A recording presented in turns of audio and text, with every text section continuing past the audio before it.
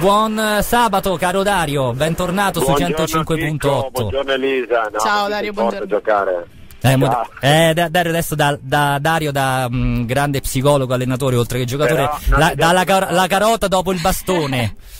Non hai detto una cosa, Chicco, che all'ultimo minuto hai sbagliato tu un gol davanti alla porta di destra. di la verità. Cioè, queste cose non le dice Dario, queste cose se le tiene per sé, capisci? Beh, se quello non sbaglio, Dario, praticamente è vero che era un metro dalla porta, vuota. Però se quello non sbaglio, che praticamente è più che diciamo un. che hanno, hanno sbagliato a passarti. Ah, no, di- era, era proprio sbagliato il passaggio. Cioè, se ci, ci ci fosse stato Guarda un Dario Marcolin, mi avrebbe, avrebbe eh. messo un cioccolatino solo da spingere in rete, mentre il mio compagno mi ha tirato praticamente più che un passaggio, un- una bomba. Eh, ma tu non puoi fare solo i gol che devi spingere in rete, Ho ogni tanto serve anche la Vabbè, giocata. Dario sa che lì con Eh. un passaggio normale la partita sarebbe conclusa appunto con un pareggio più che meritato, perché poi, Esatto. eh, che poi Dario Marcolini ha trasformato do- in- nel, suo pokeri- nel suo poker 4 gol in questa partita più assist, e un- il- poi alla fine forse quello che è il risultato decisivo è stato l'ultimo, ovvero un rigore conquistato Dario Marcolini per quanto mi riguarda molto Ecco dubbio qui, ecco. perché il fallo era iniziato fuori aria insomma però poi il fascino del, del fuoriclasse l'arbitro subito rigore azione dopo stesso fallo per noi iniziato fuori Perché aria l'arbitro si sentiva un po'. per Dario Marcolini vero? rigore Eh, beh, subito sì, chiaro. rigore strano che non ha espulso pure il nostro giocatore mentre invece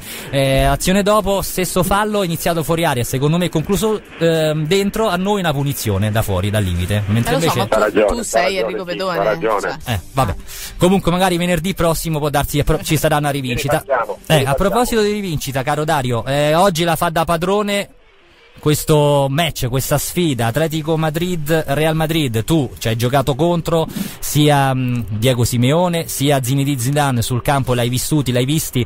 Non so se ce li puoi anche un pochino decifrare dal punto di vista ehm, tecnico, nel senso proprio da, da- da allenatori quali sono, quindi i tuoi colleghi, oltre che poi caratteriali, insomma, mh, il tuo identikit di Diego Simeone e di Zinedine Zidane e poi ovviamente anche di Atletico e Real, Dario. Ma guarda, le situazioni da analizzare sono due diverse. La prima è l'uomo, il carattere dell'uomo, e il secondo l'allenatore. Sì. Per quanto riguarda Zidane, l'uomo secondo me è un uomo di poche parole, è un po' più introverso rispetto a, a Ciolo Simeone, però di grande personalità. Sai, quando tu hai davanti un giocatore eh, che fa l'allenatore, eh, che ha vinto tutto, che è stato un grande pallone d'oro, eh, anche i giocatori eh, questo fascino lo subiscono. E infatti si è visto subito che da quando è arrivato Zidane a Real Madrid mi sembra hanno fatto tipo 11 o 12 vittorie di fila. Sì. Eh, non, è, non è un caso non è un caso. Per cui eh, dove è riuscito a trovare la chiave secondo me Zidane? Nell'appeal che ha avuto lui sui giocatori e in quello che ha proposto. Dall'altra parte l'uomo Ciolo Simeone grande personalità uomo di spessore anche lui di poche parole però eh, è già più espansivo rispetto secondo me a Zidane. Adesso passiamo alla filosofia degli allenatori. Allora, adesso va di moda dire il ciolismo. Il ciolismo non è nient'altro secondo me che quello che ha imparato il Ciolo Simeone giocando in Italia, cioè la quadratura in campo, l'aggressività 4-4-2, eh, poco lavoro tattico, molto lavoro di pressione per poi andare sulle ripartenze. Ranieri ci ha vinto un campionato, cioè la Premier su queste cose. Sì. Dall'altra parte invece la filosofia Real Madrid che si è dovuto ehm, incarnare subito Zidane senza fatica perché lui è stato un giocatore del Reale e quindi aveva quella filosofia attraverso il gioco, il palleggio, palla corta, eh, fase offensiva. Quello che mi è piaciuto di Zidane rispetto ai suoi precedenti è che la squadra non è più lunga, larga, ma è una squadra compatta, linea difensiva un po' più alta, cioè stiamo parlando di eh, un Real che è cambiato, è diventato un Real più moderno, un Real più, più corto, un Real che ehm, sempre la stella di Ronaldo, però sono più giocatori partecipi eh, al gioco come era prima. Prima facevano tanta fase offensiva e prendevano delle imbarcate. Al contrario, eh, adesso è diventata una squadra che sa stare in campo. Premesso questo ti dico Chicco Sì. e Elisa, ti dico che nella partita secca il calcio insegna che può succedere di tutto, nel senso non è una partita di campionato che tu puoi ragionare anche di fare 0-0, di fare, cioè ci sono delle dinamiche che nascono diversamente. Sicuramente chi va in vantaggio delle due squadre costringe l'avversario a dover per forza sbilanciarsi e a creare qualcosa per cercare di rientrare in partita e lì si apre la vera- il cuore della partita è lì, come si sblocca il risultato diventa il cuore della partita. E nel caso, Dario, come dici giustamente tu, va in vantaggio l'Atletico, più possibilità di portarla ehm, a casa la partita rispetto al caso in cui invece va in vantaggio il Real? Cioè, delle due chi ha più possibilità in caso di vantaggio? Guarda, in caso di vantaggio sicuramente l'Atletico lo porterebbe eh, sul terreno principale che è quello di coprire il campo, squadra corta, non lascia spazio agli avversari, li aggrediscono. Se l'Atletico va in vantaggio sicuramente va nella gestione della partita che è quella eh, più normale per l'Atletico di Madrid. Al contrario probabilmente andasse in vantaggio il Real comunque la sua filosofia di gioco eh, proverebbe a fare il 2-0 per farti capire, no? Sì. mentre, mentre, il Ciolo Simeone vorrebbe portare a casa l'1-0, il Real vorrebbe fare il secondo, è un po' quella la dinamica della partita. Elisa. Sì, beh, su, tutto, su, tutta questa disamina, per carità, nulla da dire. Perfetto, poi Dario, eh, sì, ne apprezziamo di sicuro molto a meno. Fox quindi. Sports su Sky, Eh, sì, insomma, viene apprezzatissimo, seguitissimo, anche solo per questo, insomma. An- anche non solo per questo, anzi. Tra pochissimo io ovviamente vi porterò invece sulla Lazio. Elisa, Sì, allora abbiamo parlato di due, tecni- due squadre, vabbè, assolutamente di, di livello, una finale importantissima, due tecnici, insomma, della quale hai giustamente elencato tutte le peculiarità, però io ti porto sull'allenatore della Lazio a questo punto, Dario, perché è vero che qui ci sono due, allena- due top allenatori, però anche la Lazio deve scegliere il suo allenatore. Tanti tanti nomi continuano a girare da Prandelli, Ventura, Pioli che dovrà comunque trovare una sistemazione, la conferma di Inzaghi. Io non ti chiedo tanto un nome quanto secondo te insomma c'è un identikit da fare per quello che potrebbe essere il giusto allenatore della Lazio? Ma Guarda, io e Elisa eh, l'altra sera quando c'è stata quella bella serata allo Stadio Olimpico di Padre in Figlio, ho- qualcuno mi ha chiesto, eh, io rimango della mia idea che eh, per me andava data la chance a Simone A Simone. ti spiego Mm. perché eh, ha fatto bene, è stato apprezzato dai giocatori, quello che chiedeva si è visto sul campo, la Lazio ha fatto un buon finale di campionato eh, e probabilmente ripartire con lui ti trovavi già un po' di lavoro fatto e anche per lui era una grande occasione. Eh, mi sembra che anche la gente lo avesse apprezzato e questo è importante perché comunque eh, lo abbiamo apprezzato un po' tutti, no? guarda le due diversità, magari Brocchi è andato in un certo modo, invece Simone è andato in un altro modo, eh, mi sembra che lui con quel lavoro che ha fatto si poteva eh, giocare la riconferma e secondo me è una delle possibilità. È ovvio che magari sul piatto della bilancia ci può essere un allenatore esperto, eh, io credo che sia Prandelli forse quello più vicino alla Lazio, non Mhm. so se possa essere un problema economico, un problema eh, legato a qualcos'altro, però Prandelli ha un buon DNA, è stato allenatore nazionale, ha fatto 5 anni alla Fiorentina, eh, dopodiché eravamo arrivati io e Sinisa alla Fiorentina, quindi abbiamo trovato anche il suo lavoro fatto sul campo, cioè stiamo parlando di, vedo meno quella di Ventura, però eh, ma non perché non è adatto, perché probabilmente si dice vale in nazionale, eh, quindi, quindi può darsi che sia eh, una cosa da escludere. Però se oggi dovessi fare una percentuale nella mia, eh, nel mio pensiero di quello che ho visto fino adesso, 70-30 a favore di Simone Inzaghi, cioè io l'avrei confermato, gli avrei dato possibilità, mi sembra di vedere un Montella bis per farvi capire. Perfetto Dario, senti, a proposito di tu, eh, di te, tu Simone Inzaghi, eh, che squadra di allenatori? Simeone, Mancini, Mihailovic, Mihailovic. eh, eliminato. Nesta adesso. Nesta ragazzi, Pancaro. Pancaro, ehm, Almeida, ehm, Almeida, eh, Sensini. Cioè, Cre- vabbè, Wow. Crespo è arrivato qualche, qualche, qualche, arrivato qualche eh, eh, non lo so se ci vuoi dare, dai, rimaniamo a questo punto su su Sim- dai, senza che ti posso, non ti posso chiedere ogni- qualcosa di ognuno. Rimaniamo su Simone Inzaghi, Dario e su dai, su Simeone, visto che poi fino a prova contraria è protagonista Però io sono curiosa anche sera. di Mihailovic eh, proprio perché insomma ha fatto anche lui Ah. il nome poco fa. Mihailovic era comunque passato così, era stato uno dei nomi usciti eh, Ah, nel come no, momento in certo, cui si pensava a un sostituto di Pioli. Quindi anche su Mihailovic dici un po' la tua. Ma guarda, io ti dico eh, un contatto quando noi eravamo a Catania con Sinise nel 2009, un contatto con Lotito c'era stato. Sembrano quelle cose che magari se non le fai in quel momento, passato l'attimo, poi non va più in porto. Ovviamente Sinisa è un allenatore eh, ambito no? in questo momento, via dal Milan, sono passati due settimane, è andato subito al Torino, due anni di contratto, progetto, cioè è un allenatore che se te lo, te lo devi portare a casa subito no? per, per trovarti l'allenatore della tua squadra. eh, e quindi il tempo è passato. Io non lo so, mi auguro che magari in futuro eh, ci possa essere questa cosa qua, però eh, la vedo difficile, cioè l'attimo è passato, l'attimo in cui secondo me Sinisa poteva venire alla Lazio è passato.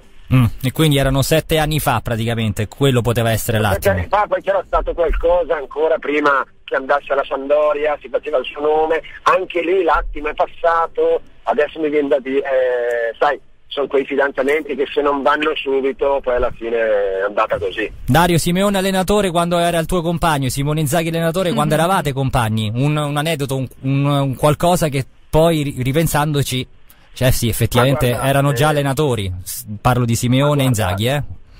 Ti dico ovviamente per la personalità spiccata, eh, quella di Simeone lo potevi dire che eh, poteva diventare allenatore, leader e poteva gestire una grande squadra. Simone essendo stato un attaccante, ma ti faccio lo stesso esempio di Allegri, io ho giocato anche con Allegri al Cagliari. Sì. e, ti dico, e ti dico che magari l'attaccante lo vedi diversamente a fare l'allenatore, di solito è più o il difensore centrale o il centrocampista che come capacità vanno a fare l'allenatore, invece loro sono stati bravi nel cambiamento che hanno fatto, perché sia Allegri, che magari non pensavi arrivasse a questo punto vedendolo magari trequartista, gli piaceva il colpo di tacco, Simone Zaghi giocava sulla linea eh, degli avversari, era sempre lì magari a fare un gol in un certo modo, mi ricordo quattro gol al Marsiglia in Champions League, insomma, sì. era eh sì.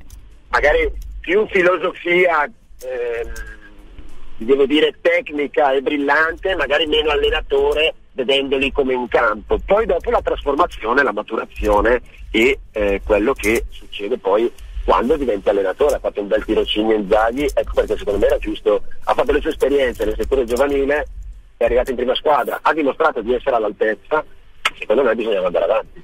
Ecco, in tutto ciò, ieri è notizia di ieri che Lotito avrebbe proposto a Inzaghi di tornare in primavera.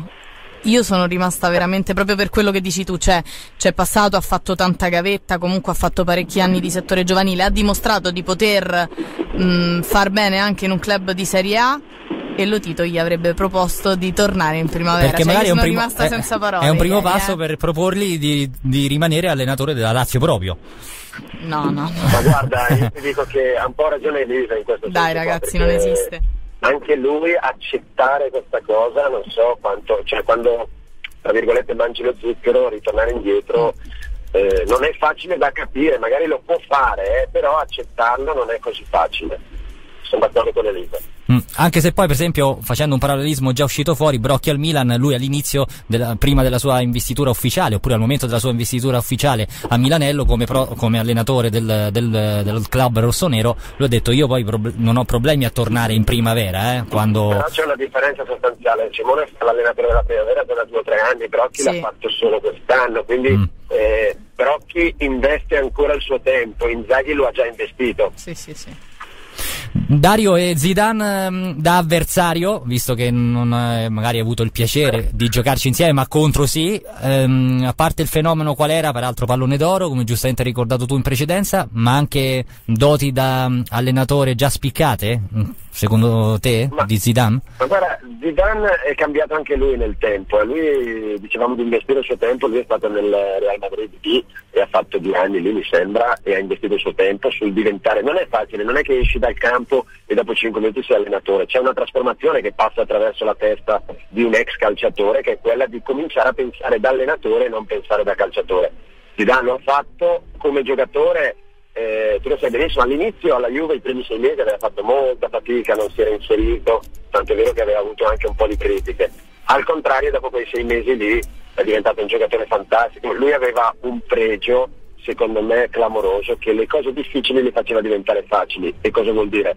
Praticamente quando si trovava in mezzo a quattro giocatori, magari con due tocchi riusciva a uscire, oppure faceva la cosa giusta al momento giusto, pressato, scaricava, quando aveva spazio dribblava, calciava di destra e di sinistra eh, in modo quasi uguale e poi era la posizione che lui andava a prendere, cioè lui andava a mettersi sempre alle spalle dei centrocampisti dove nella linea difensiva nei centrocampisti riuscivano a uscire e da lì cominciava a trasformare l'azione. Dario, da mm, eh, due volte campione eh, d'Europa eh, Under 21, quindi con la nazionale azzurro 92-94, il eh, prossimo allenatore invece della nazionale A, quindi maggiore, dovrebbe essere Ventura, quello della, tra virgolette, tua Under 21 Cannavaro. Ci dici la tua su questa quindi doppia possibile mm, investitura? mh, Ventura Cannavaro per Quando- l'Italia? Quando arriva il- la, la ventata nuova e la ventata dei cambi, ognuno porta le persone di cui si fida. In questo momento eh, ti dico Ventura in nazionale io lo vedo bene, mi sembra un po' il fatto di coronare qualcosa anche come uomo, come, come allenatore. Ventura è più eh, è l'allenatore che ha più panchine di tutti in Serie A, tipo 700 e qualcosa, adesso il numero preciso non lo so, cioè stiamo parlando di un uomo esperto, magari non ha, eh, non ha fatto le coppe, non ha fatto cioè, il calcio internazionale, ma ha talmente tanta esperienza che sembra quasi che non gli serva questa esperienza. Io lo vedo bene perché nella gestione, nel far giocare le squadre, nel sapere entrare nei giocatori, cioè la definizione che ho sempre dato io di Ventura è che è un allenatore che migliora il prodotto, cioè una- una- un giocatore nelle sue squadre è arrivato grezzo, va via che lo vogliono le grandi squadre, cioè lì c'è la mano dell'allenatore. Sì. Chico, devo andare adesso perché mi inizia una partita. vedi Ah, che- strano. Sempre in campo. Stavolta a paddle, eh, stavolta paddle. Ah, Ah, vedi? poi un giorno Dario Marcolin Alterniamo, al prossimo alterniamo. collegamento ci spiegherà il fascino, non so se anche il, dovi- il divertimento di questo sport nuovo, se vogliamo, insomma, Sarà che, fatto, che ha ca- fatto. catturato e rapito tutti, insomma, quindi grazie Dario, Ciao, è sempre Dario. un piacere, Grazie sempre un voi, piacere, grazie ed in bocca al Grazie. lupo, grazie ed in bocca al lupo a Dario Marcolin.